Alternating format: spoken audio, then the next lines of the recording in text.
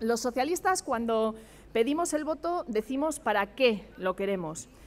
Si la ciudadanía está de acuerdo con esos compromisos, eh, tiene que respaldar con su voto.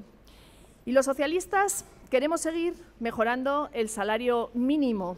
La derecha quiere reducirlo. Los socialistas queremos mejorar y garantizar las pensiones públicas. La derecha quiere privatizarlas. Los socialistas queremos la España autonómica. Las derechas quieren bloquearla. Los, socialistas queremos que la seguridad la garanticen las fuerzas eh, de seguridad del Estado. La derecha quiere que la ciudadanía porte armas y que se proteja individualmente. Los socialistas queremos el derecho a una muerte digna. La derecha quiere prolongar el, sufrimiento. Los socialistas queremos derechos en ellos están muy incómodos la derecha. Los socialistas queremos igualdad en este tiempo de mujeres y la derecha quiere frenar todos estos avances. Los socialistas queremos el crecimiento económico, este crecimiento económico que tenemos ahora nos alcance a todos, la derecha solo a ellos. Así que hay que elegir entre socialistas y derecha, entre derechos y derechas, entre avances o retrocesos. Así que, ciudadano, ciudadana, me dirijo a ti porque en tu decisión, en tu participación, en tu mano está, tu futuro te pertenece y los socialistas queremos compartirlo. Juntos podemos hacer que pase y esto solo se hace con el voto. Muchas gracias y os dejo con Idoia Mendía, nuestra secretaria general.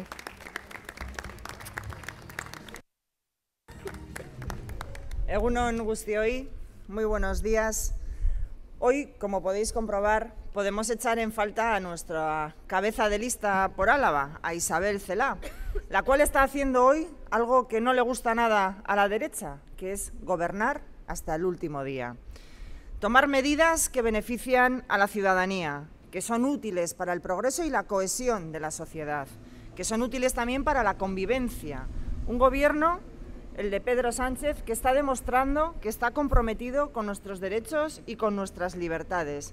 Un gobierno socialista que está comprometido con las mujeres, las que aspiramos a que dejen de tutelarnos, las que queremos ser libres e iguales a los hombres, que está comprometido con nuestros mayores, con mejorar sus ingresos, con garantizarles que nadie juegue con sus pensiones, ni ahora ni en el futuro, comprometido también con los trabajadores, con sus derechos y con las oportunidades para los jóvenes.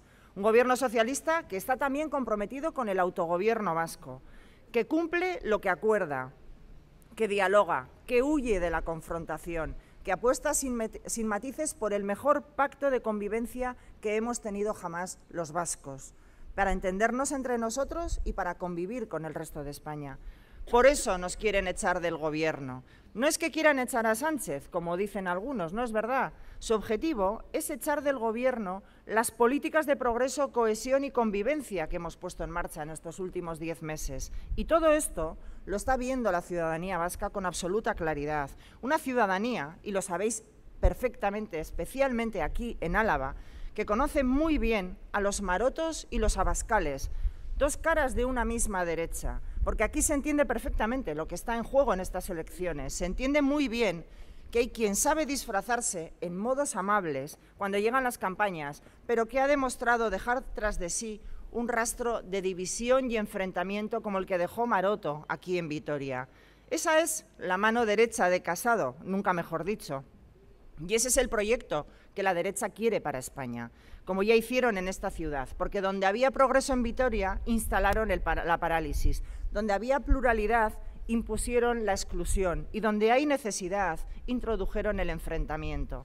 Pero Álava tiene en su mano que ese pasado no vuelva nunca más.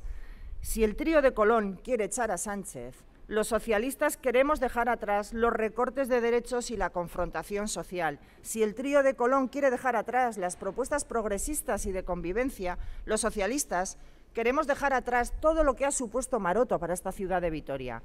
Y si Maroto ya no puede volver a este ayuntamiento de Vitoria, es posible también hacer que no vuelva al Congreso de los Diputados. Es posible, y eso lo pueden hacer posible, quienes voten por el Partido Socialista aquí en Álava. Y les decimos a los alaveses, haced que pase, Haced que Maroto no vuelva al Congreso de los Diputados.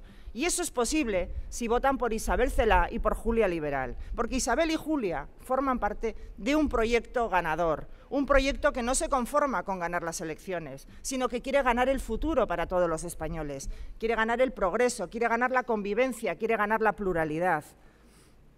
Hay un proyecto socialista claro, que no duda, que se atreve, hay un proyecto socialista que cree en la ciudadanía, en sus derechos y en sus libertades, que cree en una España descentralizada, que cree en Euskadi, que confía en nosotros, que quiere que avancemos de la mano de todos los ciudadanos y de todos los territorios. Un proyecto que apuesta por la colaboración, por el entendimiento, por la solidaridad, la igualdad, que no quiere arrinconar a nadie, que solo quiere dejar atrás los enfrentamientos, los insultos y las imposiciones, y esto es lo que los alaveses y los vascos saben que están en juego en las próximas elecciones del 28 de abril.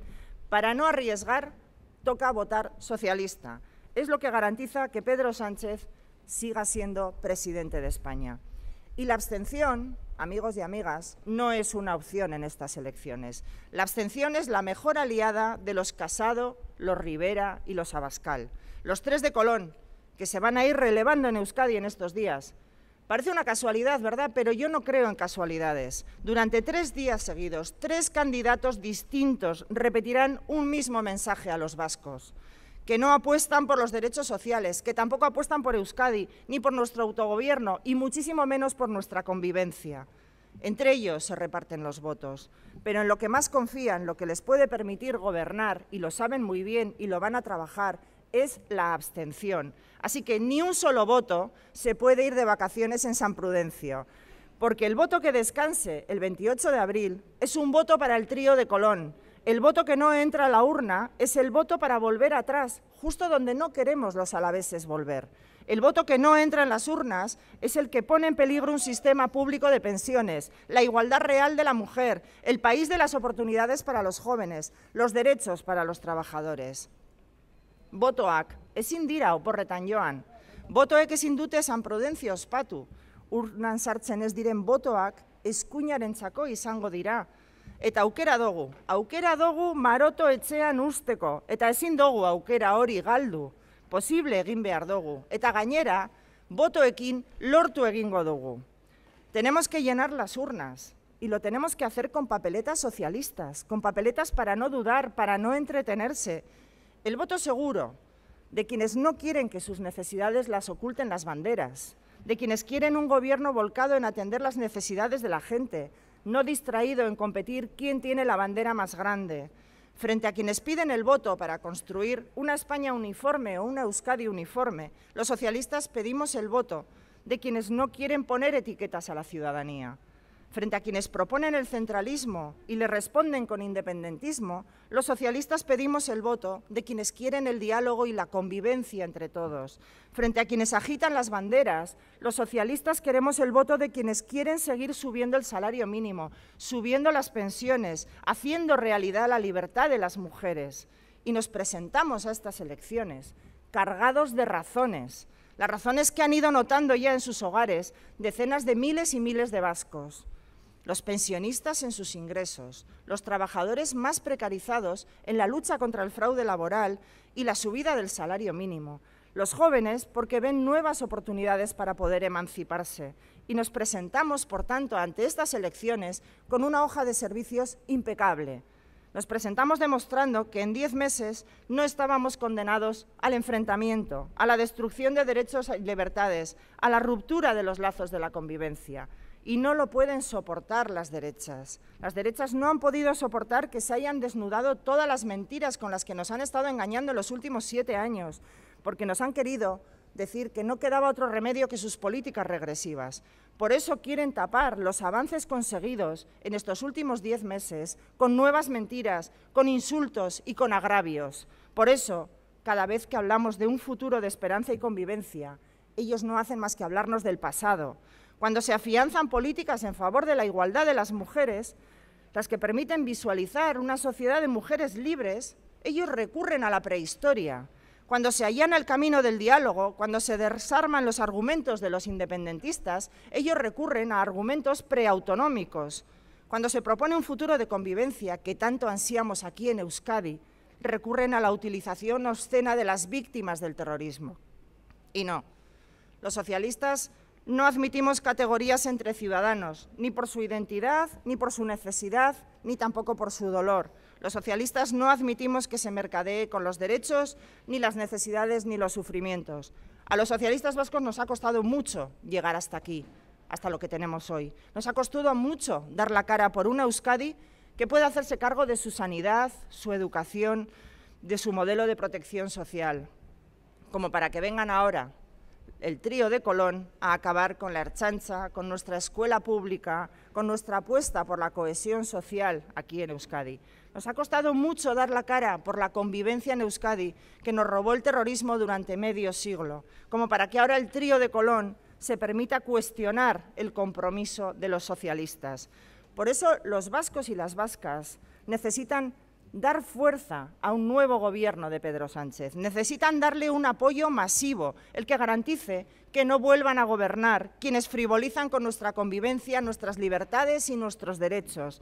Necesitan a esta izquierda responsable, la que no engaña, la que no toma una sola decisión que excluya a nadie por sus sentimientos, la izquierda que habla claro, la que dice lo mismo aquí en Vitoria y luego en Madrid. Los socialistas queremos el voto de todos los progresistas de Euskadi, para recuperar los derechos sociales y consolidar un proyecto de convivencia en España donde quepamos todos y todas. Esto es lo que decide la ciudadanía vasca el próximo 28 de abril. O la vía de progreso y derechos que propone Pedro Sánchez o la vuelta al pasado que nos proponen las derechas.